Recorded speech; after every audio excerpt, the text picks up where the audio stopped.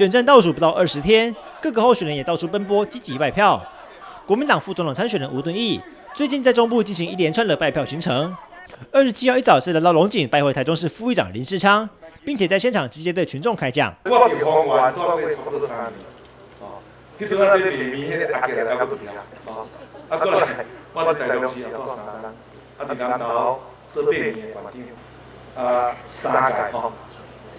做两届因为我去行政院咯，所以南投管区补选一个马文君立委，所以我做两届立委。一开场就强调自己与中部地区的地缘关系，要和民众把钢筋。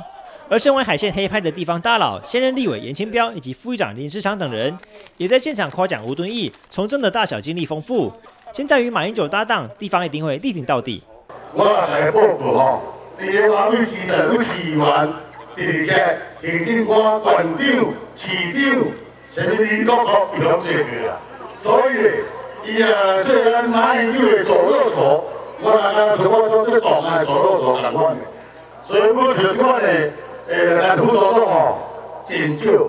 建县县吼，大家是议员、南投县长、高雄市长、立法委员、中东部国民党秘书长，啊，即摆行政院院长，所以啊，伫未来啊，伊若当讲啊，是着大家支持啊，来当选老总统府，啊，来甲马英九啊倒下手啊，相信。啊，这是咱台湾人的福气哦。为了展现亲和力，与民众拉近距离，在会后，吴敦义也与支持者合影，并且签名留念。选战进入最后的紧张时刻，蓝营最近也频频下乡拜访地方要角，看来故中的意味十分浓厚。记者洪教台中报道。